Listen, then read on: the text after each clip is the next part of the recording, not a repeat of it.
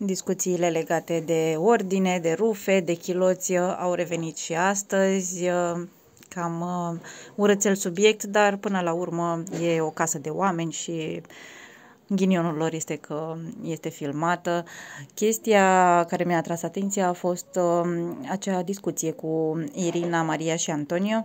Irina a scos în evidență nu odată, ci de mai multe ori faptul că Maria este dezordonată, că i-a spus de mai multe ori, i-a atras atenția să își aranjeze, să-și strângă hainele și a vorbit uh, cu pereții iar uh, aceste detalii le dădea lui Antonio ca și cum uh, vezi uh, cu cine te iei că uite ce o să se întâmple.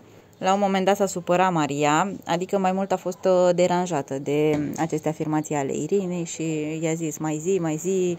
Nu mai e un secret pentru nimeni că Irina și Maria nu mai sunt prietenele care au fost pentru ceva timp în competiție. Îi spusese la un moment dat Irina că i-a făcut subiect de roast pentru Maria a zis, acum am niște idei în plus uh, despre dezordinea pe care o face aceasta.